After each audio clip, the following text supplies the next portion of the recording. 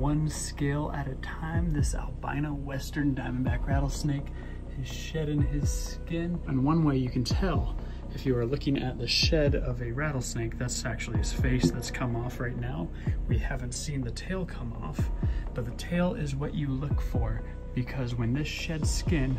gets to the very end of his tail, you're actually going to see a little hole at the end of the shed that the rattle comes out of instead of the shed coming to a pointy tip if it were a non-venomous, let's say king snake or gopher snake. So if you live anywhere where you're worried about finding rattlesnakes and you find a shed skin in your backyard, if the shed skin comes to a pointy tip at the end of the tail, you know that at least it's not a rattlesnake.